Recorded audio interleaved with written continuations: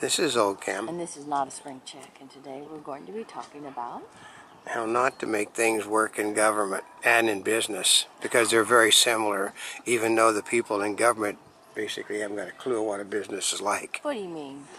Well, because um, the people pushing Obamacare are continually doing the one, the one most irritating thing that you can do in the world, in the world of business, is to say, well, you have to understand. No, you don't have to understand. My mother would tell people when they would say this, well, you have to understand, she'd tell them no. She said, I, I, I run one of the largest corporations in the world, and I do not have to understand. You have to, I, I tell you what to do, you do it, and if you don't do it, don't tell me you have to understand. Mm-hmm. And this is what the Democrats are doing on handling Obamacare. They're also doing things, the second way to basically screw things up is to send people out to continually make light of everything. It's just like a joke. Well, yeah, you people don't know what you're doing. Ha ha ha. You people have never said anything constructive. Ha ha ha. You know, you don't know what you're talking about. Ha ha. You have to understand. Ha ha ha. They just laugh at everything. I mean, in business school, they tell you don't ever do that because it basically it makes you it puts you in a uh, position of divide. You're the one that's causing the problems. Like you, you say, well, you've never ever made any attempt to come up with something better, and they have it all on t- on news broadcast. You know, like four or five hundred times they pass a hundred bills, but not once have you tried to do anything constructive. You don't want people to have health care. Five hundred bills, one hundred passed. I don't think they're concerned about it. Well, because it has all to do with the fact that no, the trick is there is nobody involved in most of all the president's campaigns on any of them that have ever worked in a business in their life. They're certainly, you know, they worked in businesses, but they've worked in think tanks, they've worked in college, they've worked, they're academics. They don't know how business is done, and every time they hire somebody that do know knows how a business is ran, like what, like Daley came in, they got he left because it was a lost cause. Now they brought um, uh, Leo Podesta in to try to solve the public relations problem, but he's basically this guy wouldn't smile if hell, you know, if he knew that he was going to be the only person surviving in the destruction of the world, he still wouldn't smile. Mm-hmm. So everything with him is so solemn. It's just the same difference, just laughing all the time. Oh, and then when you need the other side to do business, you don't continually criticize everything they do, and you don't hire a, a liaison that basically is known for her vicious attacks on the other side. So that everything that you well, can do Oh, maybe wrong. that was fair and balanced.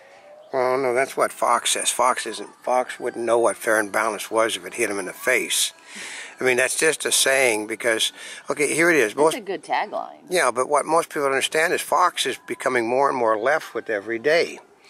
I mean, that you have people supporting. Okay, here's the thing: is you could basically ask the question to Fox: If the president of the United States came on Fox and he had to have his rear end scratched before he went on television, how many people would be trampled to death in the rush to scratch his butt at Fox? Mm-hmm. I mean, there are people over at Fox that do nothing more than read the president's talking points on everything that is said. Mm-hmm. And they're on, these people are not just in one spot, they're on Fox, every Fox show there is. They're even on Fox shows where they've been ordered never to show up again because Fox wants to make certain that the president's viewpoint is, is done. So Fox is massively business left when it comes to the president. You want to get fired over on Fox Business? Be negative about the president a lot. You lose your show. I mean, there's like another. They they basically, Foxes went left wing, very left wing liberal, replacing um, um, Gerri Willis at nighttime. They've given her time period to uh, pe- people that basically, uh, one of the founding DJs on MTV. You know that that's a real conservative person. So, um, but there are ways to do things in business and there are ways if you're in an upper hand you crush but if you're if everything you do is wrong you basically have to learn to be compromised it's bill clinton everything he was trying to do was backfiring everything so he went out and got people around him that basically told him you can't do it this way you know if you want to get your plans done you got to make uh, you, you gotta you gotta work with them. yeah, and he did, and he signed everything that Bill Clinton signed as president. The pre- current president is undone through executive action. You also cannot continually violate the laws of the Constitution. Well, when you're supposed to uphold the Constitution. And you just simply, I mean, this morning they just blew the whistle again. People that do not like this president this morning have taught him a lesson. They basically went to the press with the fact that the president of the United States deliberately held back like a thousand new provisions for the Health Care Act until. What? Yeah, they, he didn't want them coming out before the election, so they individually talked to department heads. Don't let anybody know that this has been done. yeah. Well, since we know that he already talked to them and said they don't know, let him. Well, the Democrats are doing. You hear the laughing clown. Oh, you people are just trying to. But this was on. This was on one of the left wing things.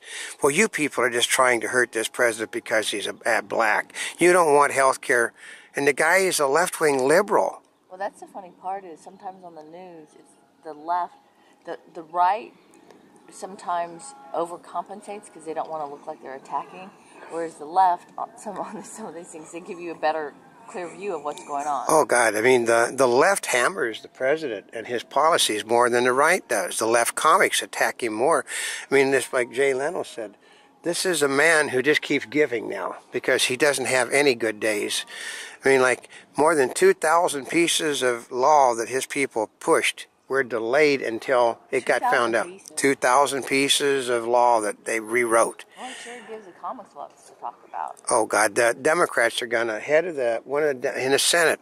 One of the Senate Senate leaders is going to hold um, things on the fact that they deliberately held legislation. I mean, rules back that were going to punish people under Obamacare and punish business. So that it wouldn't affect the Democrats' uh, chance of reelection, because what it does now, with the it, with it, okay, the White House staff is blowing the whistles. The bureaucracy that does not like the way this man does business is blowing the whistles on him. So everything that you can do is wrong is wrong. I mean, um, so y- you have to get people, if you want to do business and stay in business, you have to make compromises. You cannot, the, there is no Soviet style government that has ever existed forever. Demo- our democracy is listed for over 200 years. The Soviet Union lasted 80 years. The Chinese has lasted less than that, and they've went to they went to a, capitalistic form of socialism now in order to make the country exist. Where our country is shifting to, um, you know, like they said, the progressive side of the Democratic Party has came to an end by the brought to an end by the progressive side of the Democratic Party because they do not know how to can do They're business. their own worst enemy. That's right. And they won't listen. So I guess and, until we have the next bunch of ridiculous. We just thought we'd give you something pleasant to look at while we were talking about this today. So until next time, this is Oldecam. And this is not a spring chick. And we're here yesterday, today, and tomorrow for more information. You can go to www.mbn News Video Web on the, the net, or you Uh, can dot com. dot com, or you can go to www.montebubbles.net. And follow us on Twitter, Instagram, and Pinterest at Monte Bubbles.